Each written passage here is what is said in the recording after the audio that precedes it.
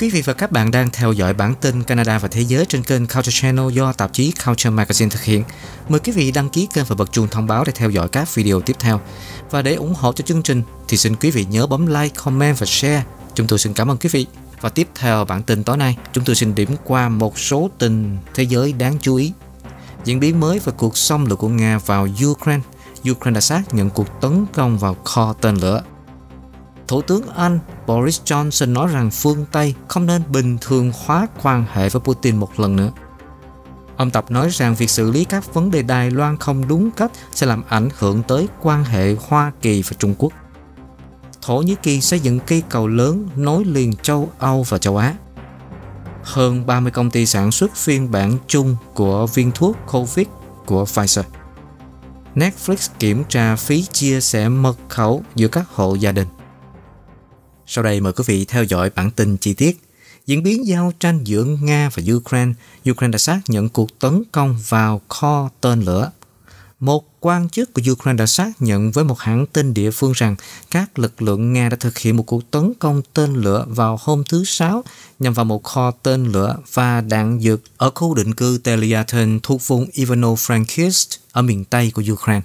Tuy nhiên, phát ngôn viên của lực lượng không quân Ukraine là Yuri Inet nói với tờ báo Ukrainskaya Pravda hôm thứ Bảy rằng vẫn chưa thể xác nhận liệu tên lửa mà người Nga sử dụng có thực sự là tên lửa siêu thanh Kenso hay là một loại khác.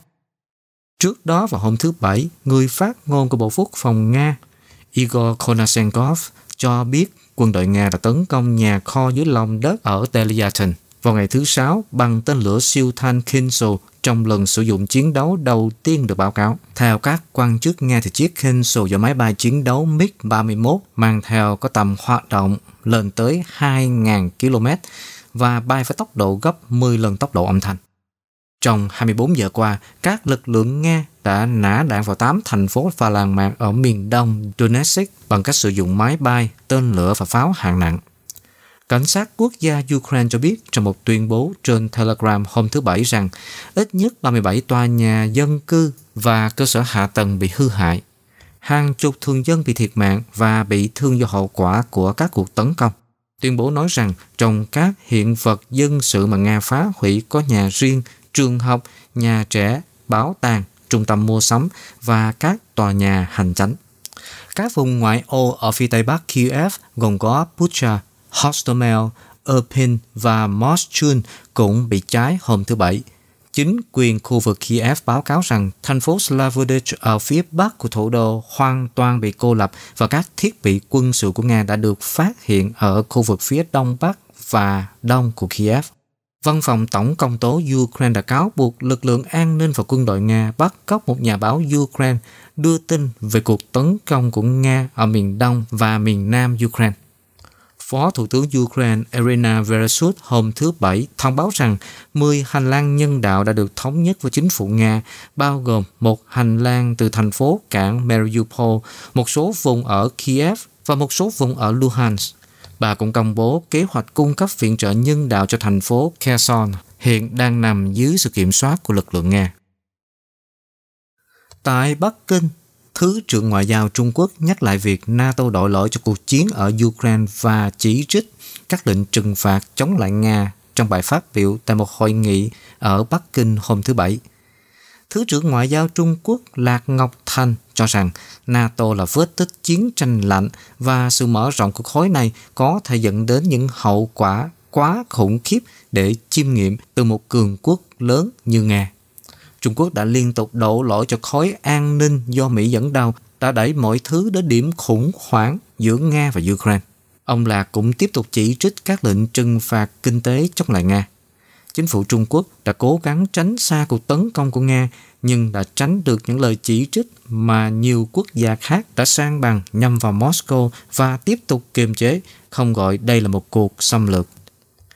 Tại London, Ngoại trưởng Anh đã cáo buộc Tổng thống Nga Vladimir Putin sử dụng các cuộc đàm phán với Ukraine như là một màn khói trong khi ông gia tăng bạo lực chống lại Ukraine.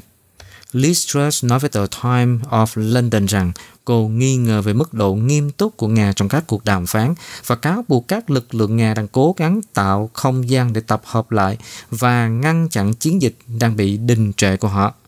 người đứng đầu cơ quan tình báo quốc phòng của Anh là Trung tướng Jim Hockenhall cho biết, các lực lượng Nga đã chuyển sang chiến lược tiêu hao sau khi không chiếm được các thành phố lớn của Ukraine trong cuộc xâm lược kéo dài 3 tuần. Tại Berlin thì các cảnh sát liên bang của Đức đã đăng ký hơn 200.000 người Ukraine tị nạn kể từ khi chiến tranh bùng nổ hơn 3 tuần trước. Bộ Nội vụ của Đức cho biết 207.747 người tị nạn Ukraine đã đến vào ngày thứ Bảy.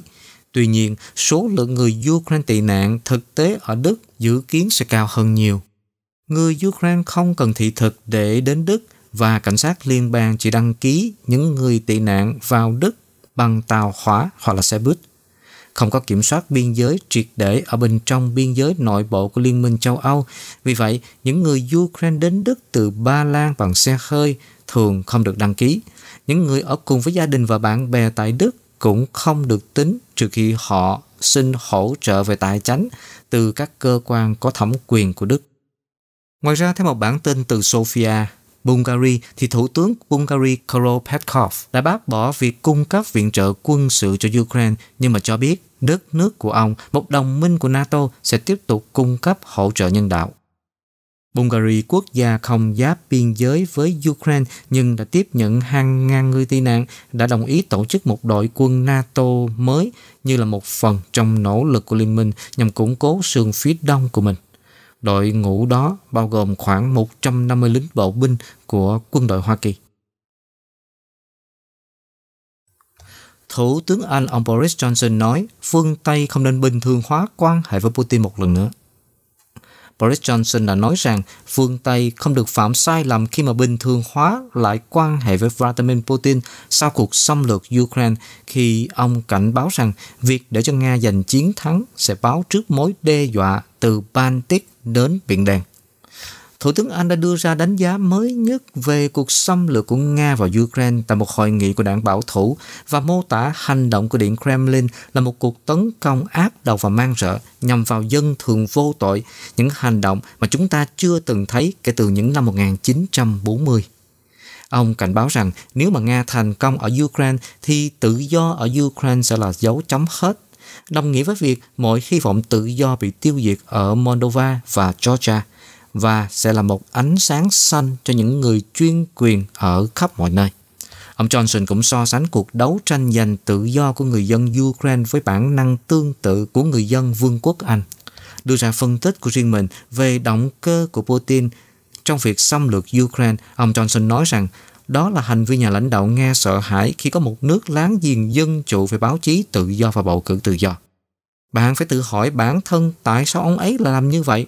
Tại sao ông ấy lại quyết định xâm lược đất nước hoàn toàn vô tội này? Tôi nghĩ ông ấy sợ Ukraine vì một lý do hoàn toàn khác. Ông ấy sợ Ukraine vì Ukraine họ có báo chí tự do và ở Ukraine họ có bầu cử tự do. Ông Tập nói rằng việc xử lý các vấn đề Đài Loan không đúng cách sẽ làm ảnh hưởng tới mối quan hệ Hoa Kỳ-Trung Quốc. Chủ tịch Trung Quốc ông Tập Cận Bình nói với Tổng thống Hoa Kỳ John Biden hôm thứ Sáu rằng vấn đề Đài Loan cần được xử lý đúng cách để tránh tác động tiêu cực đến mối quan hệ Trung-Mỹ. Một số cá nhân ở Hoa Kỳ đang gửi tín hiệu sai cho lực lượng ủng hộ độc lập ở Đài Loan và điều đó rất nguy hiểm, ông Tập nói với Biden trong một cuộc gọi video. Nếu vấn đề Đài Loan không được xử lý đúng cách, sẽ có tác động lật đổ mối quan hệ giữa hai nước. Một tuyên bố của Nhà Trắng cho biết Biden đã nhắc lại trong cuộc điện đàm với ông Tập rằng chính sách của Hoa Kỳ đối với Đài Loan không thay đổi và nhấn mạnh rằng Washington tiếp tục phản đối bất kỳ thay đổi đơn phương nào đối với hiện trạng. Hai năm qua, Trung Quốc đã tăng cường hoạt động quân sự hóa gần hòn đảo này để khẳng định yêu sách chủ quyền của mình. Bộ Ngoại giao Đài Loan bày tỏ lời cảm ơn tới ông Biden vì ông đã nhấn mạnh đến việc duy trì hiện trạng hòa bình và ổn định trên eo biển Đài Loan, cũng như sự ủng hộ vững chắc của ông đối với an ninh của Đài Loan. Thổ Nhĩ Kỳ xây dựng một cây cầu lớn nối liền châu Âu và châu Á. Tổng thống Thổ Nhĩ Kỳ, Thủ tướng Hàn Quốc và các quan chức khác đã khánh thành một cây cầu treo đồ sộ hôm thứ Sáu bắc qua eo biển Dardanelles nối liền tuyến đường thủy quan trọng của hai bờ châu Âu và châu Á. Tổng thống Thổ Nhĩ Kỳ Recep Tayyip Erdogan cho biết, với nhịp dài 2.023 mét giữa các tòa tháp, cầu Kenakel năm 1915 trở thành cây cầu treo dài nhất thế giới. Cây cầu kết nối thị trấn Gallipoli nằm ở phía châu Âu của tỉnh Kanakel, Tây Bắc của Thổ Nhĩ Kỳ với thị trấn Lapsaki ở phía châu Á. Tổng thống cho biết cây cầu cho phép du khách băng qua Dardanelles, nơi nối biển Aegean với biển Marmara chỉ mất 6 phút so với một tiếng rưỡi đi bằng phà trước đây. Lễ khánh thành được tổ chức trùng với ngày lễ kỷ niệm 107 năm chiến thắng của Hải quân Thổ Nhĩ Kỳ trong Thế chiến thứ nhất trước một hạm đội chung của Anh và Pháp tấn công Dardanelles. Cây cầu do một tập đoàn của công ty Thổ Nhĩ Kỳ và Hàn Quốc xây dựng cũng sẽ củng cố mối quan hệ giữa Thổ Nhĩ Kỳ và Hàn Quốc. Tổng thống Erdogan cho biết, cầu Kenakel năm 1915 tiêu tốn 2,5 tỷ euro để xây dựng, nhưng Thổ Nhĩ Kỳ sẽ tiết kiệm 415 triệu euro mỗi năm từ việc giảm tiêu thụ nhiên liệu và lượng khí thải carbon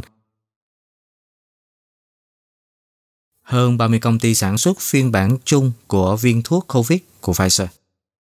Tổ chức bằng sáng chế thuốc do Liên Hợp Quốc gọi tắt là MPP hậu thuẫn đã công bố hôm thứ Năm rằng họ đã ký một thỏa thuận với 35 công ty trên toàn cầu để sản xuất các phiên bản chung của viên thuốc kháng virus COVID-19 của Pfizer. Theo MPP, thỏa thuận sẽ cho phép điều trị được cung cấp cho 95 quốc gia có thu nhập thấp và trung bình, nơi sinh sống của hơn một nửa dân số thế giới. Dữ liệu thử nghiệm lâm sàng cho thấy thuốc viên được bán dưới thương hiệu Paxlovid, giảm 89% nguy cơ nhập viện và tử vong do COVID nếu mà uống trong vòng 3 ngày kể từ khi bắt đầu có triệu chứng. Paxlovid hiện được dùng 3 viên 2 lần mỗi ngày trong vòng 5 ngày. Thuốc viên sẽ dễ dàng phân phối đến các khu vực khó tiếp cận so với các kháng thể đơn dòng được tiêm vào tĩnh mạch và cần có chuyên gia y tế thực hiện điều trị. Các công ty sản xuất loại thuốc này trải dài trên 12 quốc gia bao gồm Bangladesh, Brazil, Trung Quốc, Cộng hòa Dominica, Jordan, Ấn Độ, Israel, Mexico, Pakistan, Serbia, Hàn Quốc và Việt Nam. MPP cho biết giấy phép đã được cấp cho công ty thứ 36 ở Ukraine, nhưng công ty này không thể ký do có chiến tranh với Nga. Theo thỏa thuận, 35 công ty sẽ không phải trả tiền bán quyền cho Pfizer miễn là COVID-19 được Tổ chức Y tế Thế giới xếp vào loại tình trạng khẩn cấp về sức khỏe công cộng. Tuy nhiên, sau khi tình trạng khẩn cấp kết thúc thì các nhà sản xuất sẽ có thể bán thuốc của họ cho các nước thu nhập thấp mà không phải trả tiền bán quyền, nhưng sẽ phải chịu khoản tiền bán quyền từ 5 cho tới 10% nếu bán cho các nước có thu nhập trung bình. MPP hy vọng một số công ty trong số này có thể gửi thuốc của họ đến để xem xét theo quy định cho các cơ quan y tế ở nước sở tại hoặc là cho WHO vào cuối năm nay. Vào tháng Giêng thì tập đoàn này đã ký một thỏa thuận tương tự với Merck để 20 công ty sản xuất phiên bản chung của viên thuốc COVID-19, thuốc mang tên Monopiravir. Netflix kiểm tra phí chia sẻ mật khẩu giữa các hộ gia đình. Những ngày chia sẻ mật khẩu Netflix có thể sẽ sớm kết thúc. Công ty phát trực tuyến đã bắt đầu thử nghiệm một tính năng mới có thể tính phí cho việc thêm nhiều hồ sơ vào một tài khoản. Đề án đang được thử nghiệm ở Chile, Costa Rica và Peru. Vẫn chưa rõ liệu tính năng này có được triển khai ở các quốc gia khác hay không. Các tính năng mới sẽ tính phí những người đăng ký chia sẻ một tài khoản cho tối đa hai người bên ngoài hộ gia đình. Người đăng ký sẽ bị tính phí khoảng 2,98 đô la một tháng ở Chile, 2,99 đô la ở Costa Rica và 2,12 đô la ở Peru. Và năm ngoái thì công ty đã giới thiệu xác minh hai bước một cách tinh tế hơn để hạn chế việc chia sẻ mật khẩu. Nhưng khoản phí mới cho người đăng ký sẽ là biện pháp nghiêm ngặt nhất của công ty đối với hoạt động này. Việc chấm dứt chia sẻ mật khẩu Netflix là một sự thay đổi khác trong chiến lược của công ty, cho thấy họ đang hướng tới khách hàng hiện tại thay vì những người đăng ký mới để giúp tăng doanh thu của công ty. Vào tháng Giêng, Netflix đã thông báo họ sẽ tăng giá đăng ký phổ biến nhất của mình từ 14 đô la lên thành 15,50 đô la. Lần tăng giá thứ hai trong 2 năm. Và ngay sau đó thì công ty cho biết họ dự báo chỉ có 2,5 triệu người đăng ký mới tham gia Netflix trong quý đầu tiên của năm 2022 và đây là con số thấp nhất trong nhiều năm. Netflix cũng đang cạnh tranh với các nền tảng phát trực tuyến mới ra mắt trong vài năm qua như Disney Plus và HBO Max, mặc dù vẫn là nền tảng phát trực tuyến phổ biến nhất. Các nhà phân tích nói rằng các nền tảng phát trực tuyến, bao gồm cả Netflix, đã và đang giữ giá thấp để thu hút người đăng ký mới, mặc dù mức giá mà chúng ta thấy bây giờ có thể sẽ không kéo dài.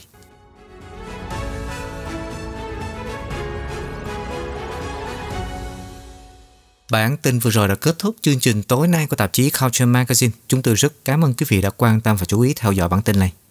Nếu quý vị yêu thích các bản tin của kênh Culture Channel, thì xin quý vị hãy ủng hộ chúng tôi bằng cách bấm like mỗi khi xem chương trình và đồng thời comment và share cho nhiều người quen để giới thiệu chương trình này cho nhiều người biết đến. Và nếu đây là lần đầu tiên bạn xem chương trình tin tức của Culture Channel, thì mời quý vị nhớ đăng ký kênh và bật chuông thông báo để nhận được các bản tin mới nhất. Tuấn Liêm xin kính chúc quý vị và các bạn nhiều sức khỏe và an lành và hẹn gặp lại quý vị trong bản tin kỳ sau.